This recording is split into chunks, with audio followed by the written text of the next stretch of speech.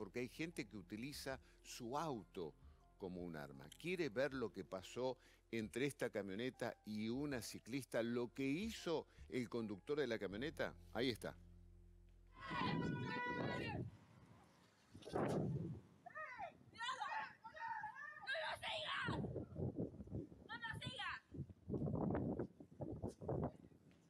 Se supone que habían discutido por algún tema. Ya lo vamos a averiguar porque vamos a hablar con la ciclista en, en instantes. ¿eh? Entonces la siguió y la apretó contra otro auto y la dejó tirada, la abandonó de esta Sí, forma. grabé, tengo la patente, creo. Sí, creo que sí.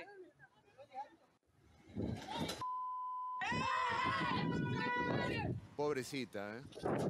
Pobrecita, qué cuánta locura, Dios mío, Dios mío. Te podría haber matado.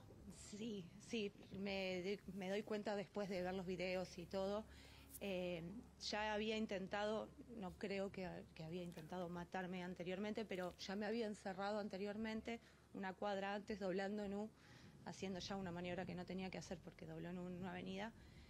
Me había encerrado, yo frené, lo encuentro en la cuadra siguiente, yo me acerco y le digo, no me viste, casi me matás. Ahí empezó a decirme malas palabras, a decirme, ¿y tu casco? Y le digo que si no tenía el casco me matás igual. Eh, siguió gritando, diciendo cosas, yo seguí respondiendo y ahí es cuando él se enoja y me tira el, el volantazo y ahí en una décima de segundo arranca. A mí me aplastó entre el Fiat Uno y la bicicleta, creo que es lo que me salvó de que yo, el manubrio, eso que salvara, que, que yo no, hizo aunque sea un poco de paragolpes. Claro.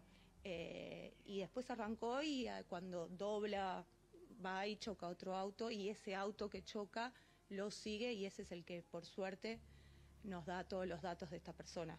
Porque si no, se hubiese escapado y no, no, no teníamos los datos ni la patente, nada. Esta persona está identificada, vos hiciste la denuncia, pero hasta ahora no apareció ni para un pedido de disculpas. Nada, nada. Sé que la persona que, que lo siguió, eh, cuando le pidió los datos, por lo que nos contó, se puso a llorar el, el hombre, eh, pero a mí, no, ni a mí ni al chico del Fiat Uno nos, nos habló ni nos contó.